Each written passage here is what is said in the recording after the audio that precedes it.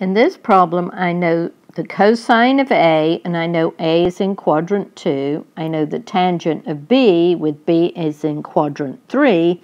And I need to find the exact value of the sine of A minus B without using a calculator.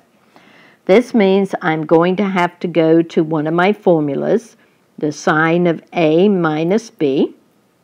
And remember, the sine of A minus B is sine A cosine B minus cosine A sine B.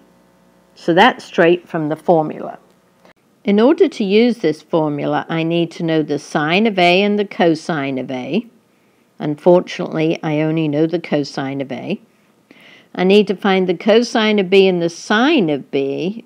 I only know the tangent of B.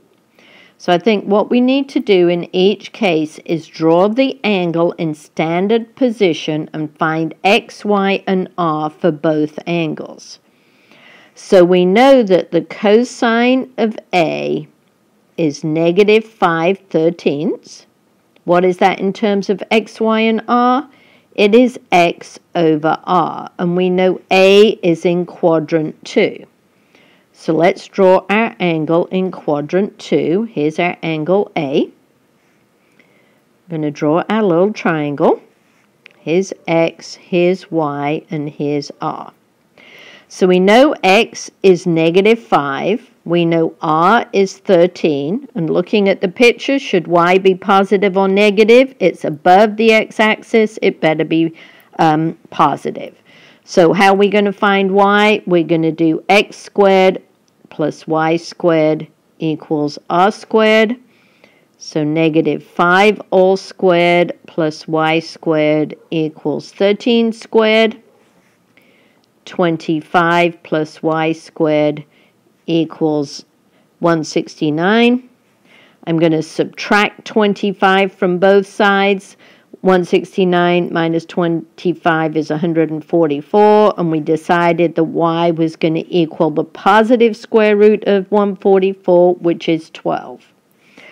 So now we know that the we were already given the cosine of A, but now we know that the sine of A is y over r, so that's going to be 12 thirteenths. So we now know, know this and know this. Now we're going to do exactly the same for angle B. We know that the tangent of B is 15 over 8. And remember that in terms of x, y, and r is y over x. So we're going to draw a picture. And remember, B is in quadrant 3. We always draw our triangle going up to the x-axis. And here is my angle B. Here's x, here's y, here's r. But now be careful in this case. Notice I go in this direction for x. So when I go left, x is negative. When I go down, y is negative. So both x and y have to be negative numbers. And th the reason I said be careful is because you're tempted here to say y is positive 15, x is positive 8, but they're both going to be negative. So y is going to be negative 15 and x is going to be negative 8. Guess how we're going to find r? x squared plus y squared equals r squared. So negative 8 squared plus negative 15 squared is r squared. Negative 8 squared is positive 64. Negative 15 squared is 225.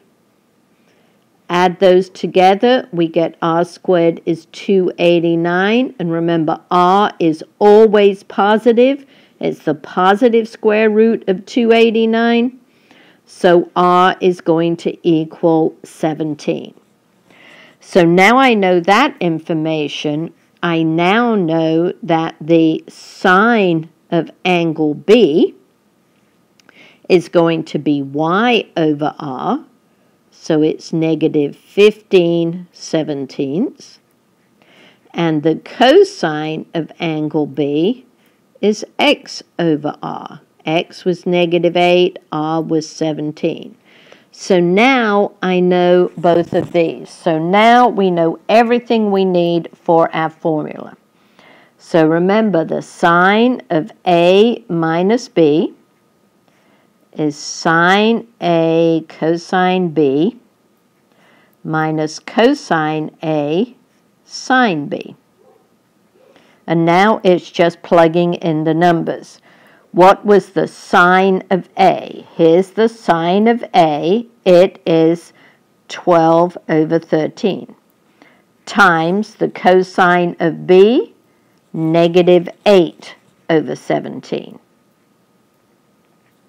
minus, what was the cosine of A? That's the one we were given. It was negative 5 over 13 times the sine of B. What's the sine of B? The sine of B is negative 15 over 17. So the nice thing about this formula, it gives you a common denominator. So all we have to do is multiply the numerators. So I'm going to get 12 times negative 8 is negative 96. A negative times a negative times a negative is a negative. And what's 5 times 15? I think that's 75. Over 13 times 17 is 221. And now all I have to do is add my two numbers in the numerator and I get negative 171 over 221.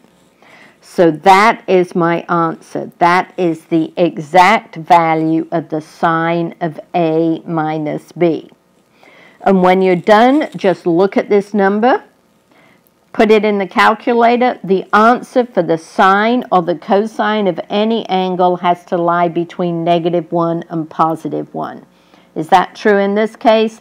Yeah, this number definitely lies between negative 1 and positive 1.